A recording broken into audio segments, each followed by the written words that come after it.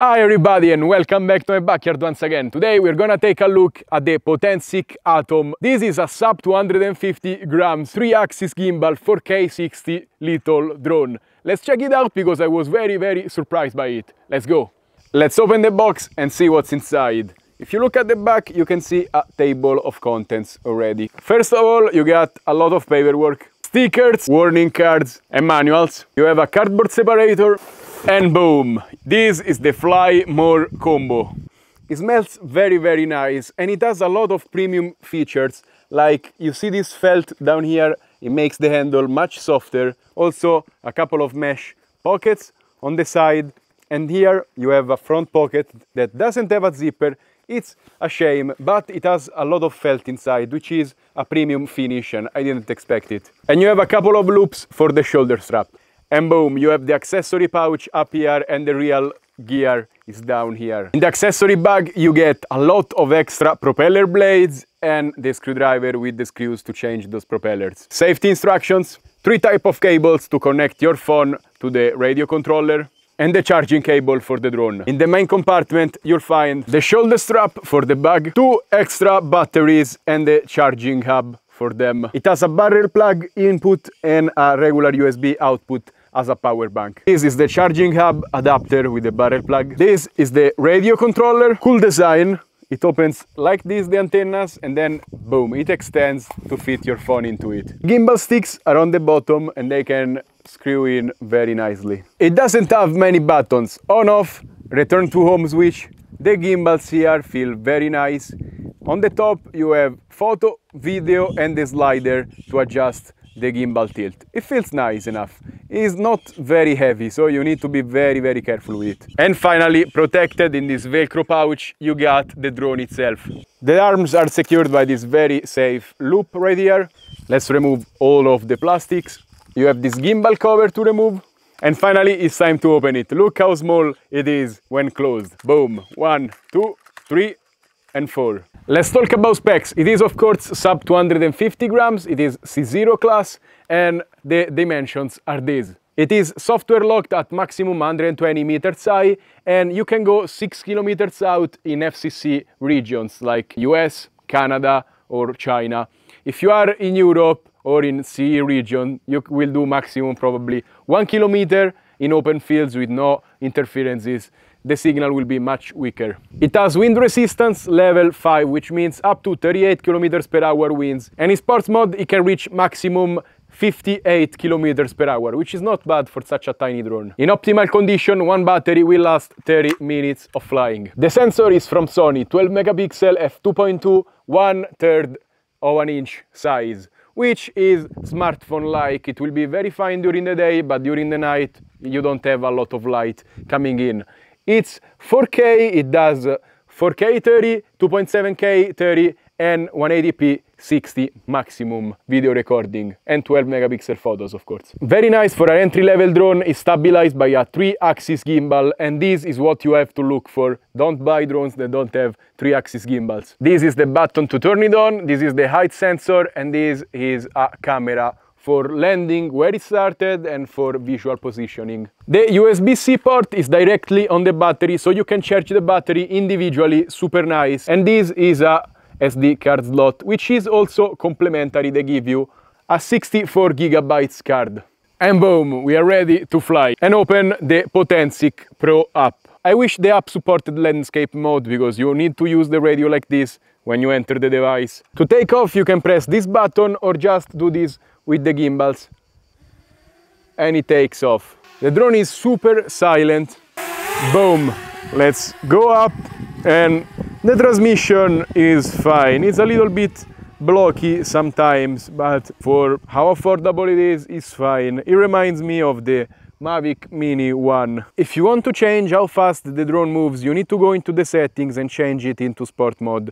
I wish they had it in the main menu because it's something I want to be able to access kind of fast. Let's uh, fly outwards and see how far it can go. It seems pretty, pretty fine to me. This is uh, 4K 30 maximum resolution. I feel like the videos are a little bit too contrasty and too over sharpened. I wish there was settings to change that. About one kilometer and still going is not bad for uh, CE mode.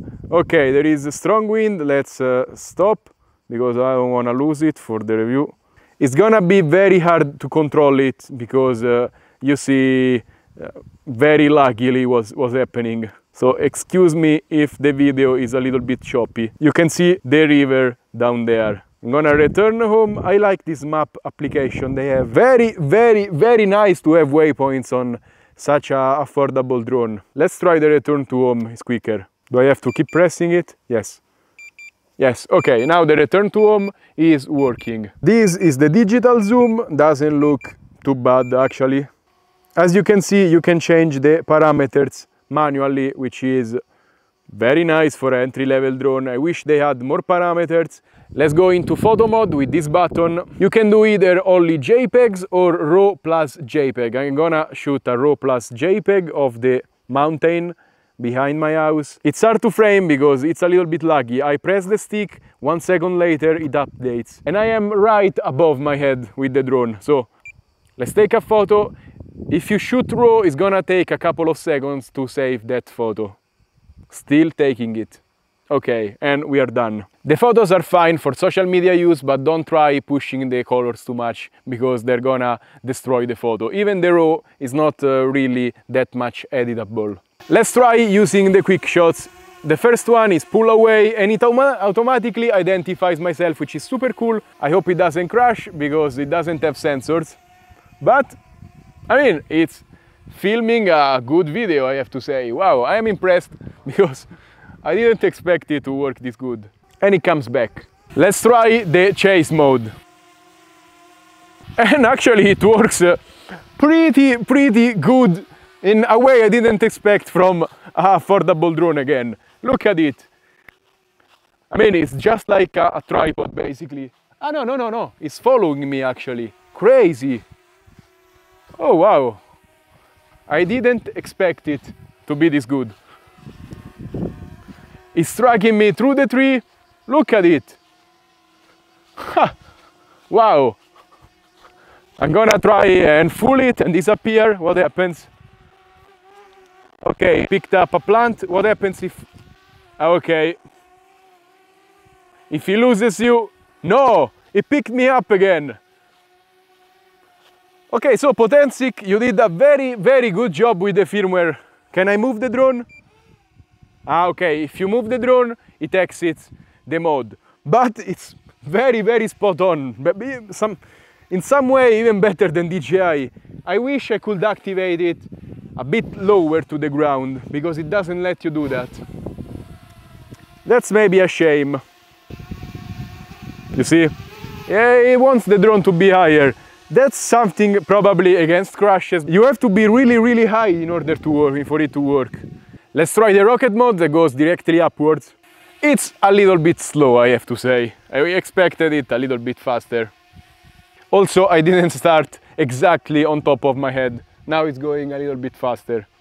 It's good. I mean, this you can do it yourself. You don't need the drone to do this kind of shot. Okay, let's try the circle mode. It picks you up even from far, which is not bad at all. Pretty, pretty nice. I want to see if it can do like a house, not only a person, because now I'm curious. You can draw a target, he picks it up, and... Okay, uh, uh, okay, it doesn't uh, pick it up incredibly well. It needs to have some contrast, I believe. Yes. Okay, let's go with the pool, which is a, a bigger target and a more contrasty one.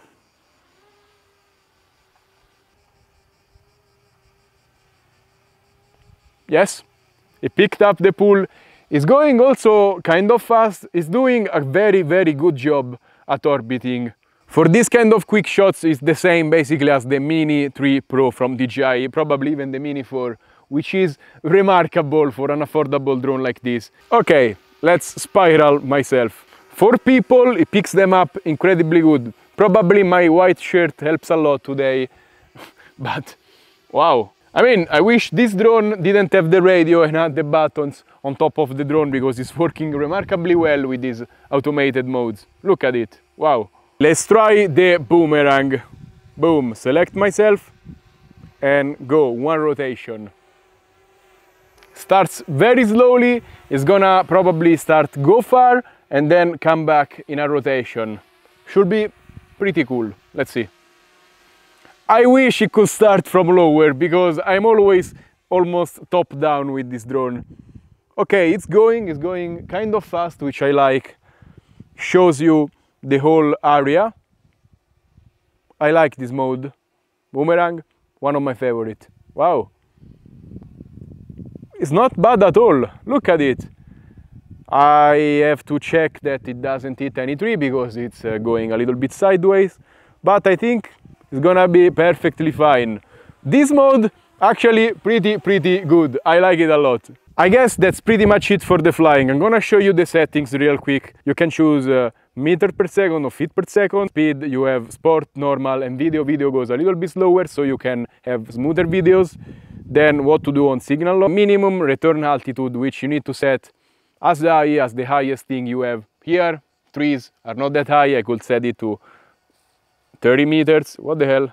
I don't need that. Come on, I don't need that. don't teach me, I'm explaining it. You have silent return, so you don't hear the beeping while it's coming back. Maximum altitude again, 120 meter, maximum distance, you can set it to infinite. This is the battery information, very nice. Then in the calibration tab, you, have, you can calibrate everything, the compass, the gimbal, if you see, it's not perfectly horizon locked and the remote controller. And here is for repairing, repairing the drone. Then you cannot really choose much. You have the pitch speed for the wheel right here, stable or FPV for the gimbal, and you can select these kind of modes. In the camera, you can choose the white balance if you want a grid on your image like this one for framing. Segmented recording is like every five minutes you take a video, it splits that, then you can format your uh, card, enable the telemetry data, I guess it burns in into the video, and adds the GPS to the photo metadata. This is, and then in the about there is not much, just information. Time for my final opinion on the Potensic Atom drone. I am impressed because I didn't expect it to work this good. Flight-wise, works very nice. The drone hardware is very stable, it, it works very good, holds the wind, goes fast enough. For a tiny drone like this, it's doing what it needs to do. Control-wise, it's pretty fine. I fly even high-end drones and this feels pretty adequate. When you move a stick, the drone moves immediately, is predictable. The only thing is you have a little bit of latency on the video reception. So if you are looking at the screen and moving the drone, you have to account for it and smooth it out and trust the process. You need uh, to learn how to do that. The menu is lacking the stick curve. I like applying a little bit of expo so it starts smoothly and when you do the moves it's even smoother, especially at higher speeds. Like I use many drone in sport mode but I have good curves so I can still have very cinematic moves and not jerk it out. And the same goes for the wheel. You can set the speed but I wish you can set a curve. The battery life is pretty fine. I flew for around 25 minutes before and I had like 5 minutes left and I flew. I even went one kilometer out in sport mode. Camera wise is decent for personal use, is probably not adequate for work. I wouldn't go to work with it. Personally I expected a tiny bit better. The camera hardware is probably fine, it's the same sensor you see in uh, mid-tier Android phones and if you see what photos they take and what videos they take, I think is the software. They need to improve the software a little bit more. It needs a little bit less contrast, a little bit less uh, sharpening, and it will be much, much better. The dynamic range is not very high, so you either expose the sky or you expose the ground. But for an entry-level drone, it's a fine camera. you take photos in vacation during the day, and it's perfectly fine for social media use. The drone app works very fine, and what surprised me a lot is the intelligent flight features, which usually with these brands and these uh, entry-level drones, they are gimmicky. On this drone, they work incredibly good and sometimes better than DJI, and that was mind-blowing for me. And the tracking works very nice, and all the modes are actually probably useful. I wish you could set it up from lower height because just give me a disclaimer, check your surroundings and let me have the drone follow me at one meter of distance instead of four meters up in the sky. That's my only complaint. So if you're looking for your first drone, a drone to learn on or a drone to film yourself maybe on holiday, this is a very good option in my opinion. You either get a 20 bucks, 30 bucks, 40 bucks drones, then don't have cameras really, and you learn how to fly those, or you have to spend 250 bucks, 300 bucks to get a drone with a decent camera. Don't get anything in the middle because I feel like it will be a waste of money. If it doesn't have a 3-axis gimbal and a real good camera, don't even consider them because you will have crap video and it will be the same if you get the cheap drone from the start. This is a good option, the camera is decent enough, so I would recommend it. And the gimbal is real and it works good. Price of this drone is around 300 bucks with one battery and a radio controller, but on the official website I saw it already discounted at 270 bucks, which is crazy competitive also with other brands. And it offers a lot of functionality for that price. And as always, that's all for today. Remember to like, subscribe and comment on this video. Let me know what do you think about this drone. I am very surprised that it's competitive and that Potensic made such a good product. I hope they continue making this product, maybe also kind of more professional drones because this is surprisingly good. If you want to buy something, check out the links in the description below. You will help this channel a lot and also probably you will find a discount right there. Stay safe and happy flying! Bye.